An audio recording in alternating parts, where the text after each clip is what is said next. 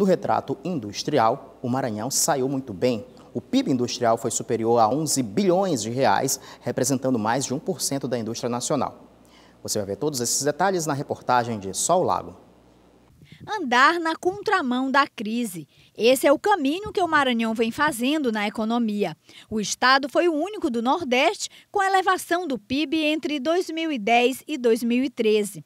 Os dados são do estudo de perfil da indústria nos estados, elaborado pela Confederação Nacional da Indústria. 22 estados sofreram queda na produção industrial, perdendo competitividade. A maior retração foi sentida pela Bahia. A indústria reduziu a participação no PIB em 6%. Na sequência, o Amazonas, Tocantins e São Paulo. No Maranhão, a indústria detém 19% da participação no PIB. O estado registrou um aumento no setor produtivo na economia local. Entre os estados do Nordeste, o Maranhão foi o único com saldo positivo e o sétimo no ranking nacional. Esse cenário positivo atrai indústrias para o Maranhão. Essa fábrica de cimento é um exemplo disso. São 18 hectares às margens da BR-135, estrategicamente próxima ao porto do Itaqui, para facilitar tanto a distribuição do cimento como a obtenção de matéria-prima. Essa unidade gerou 80 empregos diretos na capital. Em pouco tempo, no mercado maranhense, a fábrica já atende praças do Piauí, Pará e Manaus.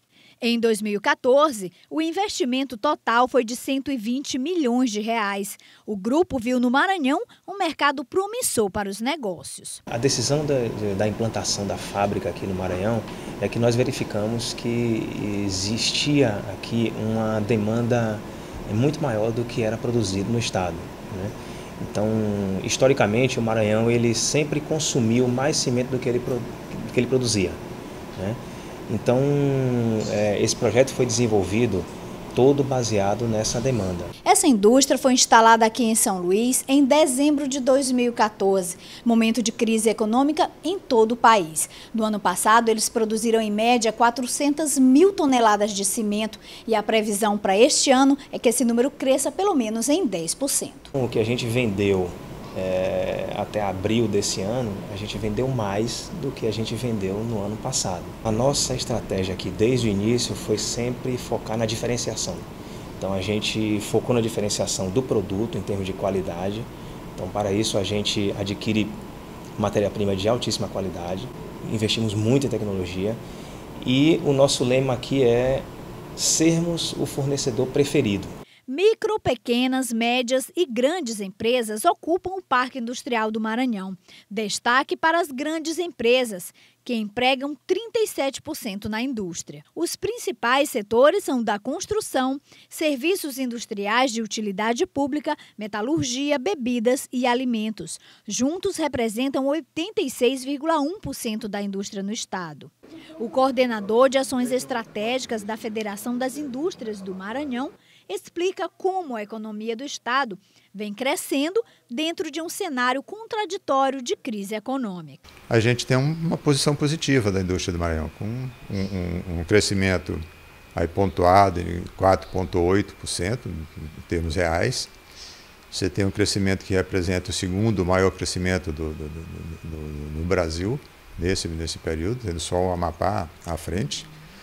Então, é um dado animador ainda mesmo no, no período que você a nota de crise, porque a, a, a, esse dado vai até 2013, então muita coisa que se agravou na crise vem exatamente depois, a partir de 2014, 2015. Então é um número que é ainda bastante favorável para a gente. E a projeção é que esse crescimento continue até 2018. Os investimentos que foram feitos eh, no Estado nos últimos anos têm contribuído para isso. E isso aparece nos dados do produto interno bruto e vão aparecendo por algum por mais algum tempo, porque os investimentos têm um período de maturação. E a repercussão disso vai acontecer. Né? Você tem ainda uma margem de investimento entre público e privado que vai até 2018 de mais ou menos uns 30, mais de 30, 40 bilhões. Então, são investimentos que realmente que repercutem.